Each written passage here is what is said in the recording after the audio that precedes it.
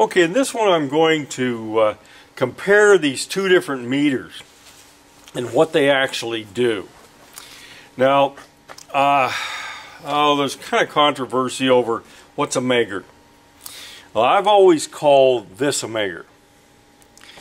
This will measure in mega ohms, millions of an ohm.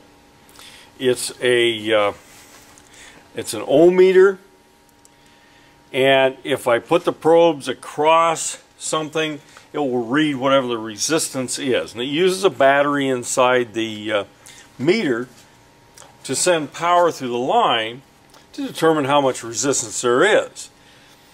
Uh, and these meters they can be used for checking uh, compressor windings to ground. See if they are actually shorted to ground. Um, it's not the best way. Uh, nine times out of ten it probably works because the thing's shorted, dead short to ground, so uh, it's not an issue. But sometimes it isn't. And these things use, uh, this one looks like it uses about a half a volt uh, as a power source to push through the line. Well, that's not a very large voltage. And conceivably, if you had an insulation breakdown on, say, a compressor, and usually this is on compressors we're dealing with, if I put higher voltage through the line, I would be able to, to detect insulation problems. That's what the insulation tester's for. It will put a higher voltage through the lines, not a no amperage or anything, just a tiny, tiny bit of amperage and a high voltage.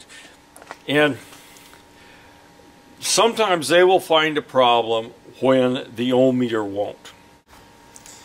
Okay, to give you a little closer idea, this insulation tester, now I can set this in a thousand volts, I can set it to 250 or 500 volts or 250 volts. Each one of those arranges what uh, that's the voltage I'm putting into it. And uh, generally I don't tell people to use the 1000 volt uh, range because actually that's a really high voltage and it could uh, damage insulation on a compressor that wasn't designed for that uh, that kind of uh, voltage to be used on it. This side here shows voltage and things. You can use it for checking voltage and so on. But the primary thing you're checking on this thing is going to be uh, windings of some kind of motor to see if I put a high voltage to them, it will show a continuity to ground that's unacceptable.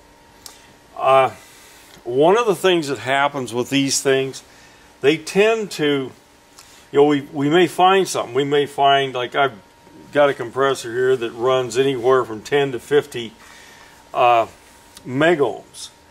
Most compressors don't read anything at all. Most of them, you're going to get that. You know, I'll hit the little thingy, and I get that. No continuity at all vast majority of compressors. Uh, every once in a while you get one, you may have contamination, water contamination in it, may just, the windings are just hashed on it, and it'll show a reading. Now, manufacturers of compressors, I've seen several numbers and it's not real good uh, solid information there. Uh, but as low as 800,000 ohms is still okay. Carlyle says that on some of their compressors. If you read, say 10, 40, 50 uh, megohms when you're using the insulation tester, that doesn't mean the compressor has failed. It means it's probably still running, but it means you should probably look at it again.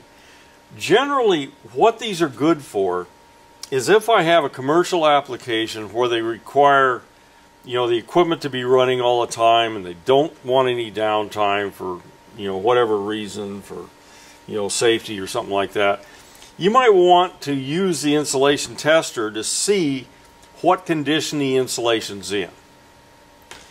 And if you test it one time and it shows 100 megohms, you test it, you know, you record that, and then you test it six months later, or something like that. And if the megohms is going down, you're going to have to start being concerned and you may have to replace a compressor. Uh, but it's not a no, a go no go sort of thing on most of these compressors. Like I said, nine times out of ten, if a compressor shorted to ground, it's a dead short. But you every once in a while you get one that has some uh, somewhere in between. So that's what that's for. Remember, the voltage is the key here. If I add a bunch of voltage to my a resistance test. And that's essentially what this is, is an ohm meter with high voltage on it. By the way, don't stick your fingers on the probes because you're going to get a nasty little shock. Uh, the When I put that high voltage, it may show me something that the uh, regular ohm meter, which is only using about a half a volt, won't be able to tell me.